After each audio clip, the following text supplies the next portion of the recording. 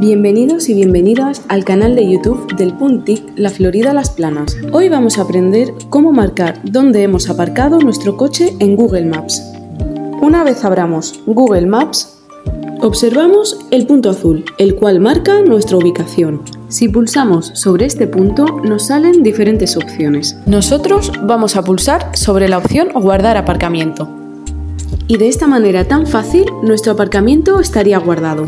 Después, cuando queramos buscar nuestro coche, solo tenemos que volver a entrar a Google Maps. Pulsamos en la barra de buscar y nos aparecerá una opción que dice ¿Dónde está mi coche? Y ahora pulsamos en la opción Cómo llegar.